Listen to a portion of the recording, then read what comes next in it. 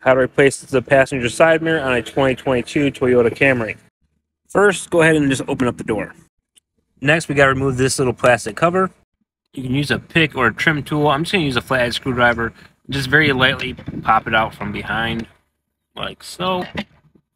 And then just grab it and pop it out. Then remove that Phillips head screw. Next, we're going to take off this trim piece and same thing using either a screwdriver or something. Just be careful so you don't break the plastic, but just pop it in there and then pop it up. Then once it's popped up, just pull it up out of the way and then unplug the connectors in the back. Next, we got to pull off this pad. You might be able to just grab this with your thumb and pry it up. Then remove this Phillips head screw and this Phillips head screw. Then we're going to place our foot on the bottom of the door and then grab this corner and just pull hard towards you to get all the little plastic pieces to pop out. With the panel removed, unplug this plug and take out that screw. I'm out of time, so come back for part two.